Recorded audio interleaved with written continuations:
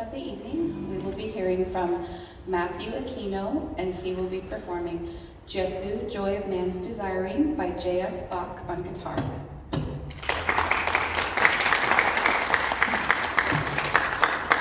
Matthew is a rising senior at Steinbrenner High School.